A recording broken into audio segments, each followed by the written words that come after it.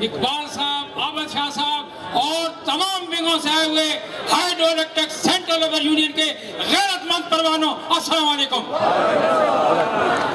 میں میڈیا کے ساتھیوں سے درخواست کرتا ہوں کہ وہ اس حقیقت کو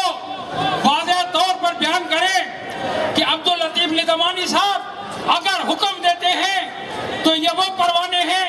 نہ بارش کا خیال کرتے ہیں نہ دھوپ کا خیال کر سکتے ہیں نہ بھوک پیاس کا کسی چیز کا وہ حکم پر لبیک کہتے ہیں اور اس کے حکم پر حاضر ہوتے ہیں آپ کے دلوں میں جو خواب ہے اربوں ڈالر کمانے کا پیسے کمانے کا یہ خواب نظامانی صاحب اور خورشید صاحب جیسی قیادت کے ہوتے ہوئے بالکل یہ شرمندہ تعبیر نہیں ہوگا۔ اس لیے آپ سے گزارش ہے کہ آپ یونین کو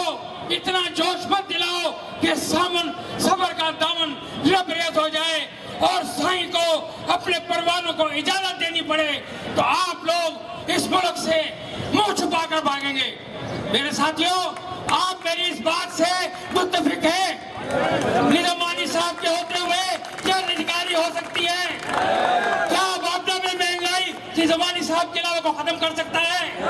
تو میرے دوستوں آپ نظامانی صاحب کو مضبوط کریں اور انشاءاللہ تعالی نظامانی صاحب آپ کو حقوق لے کر دیں گے۔ والسلام۔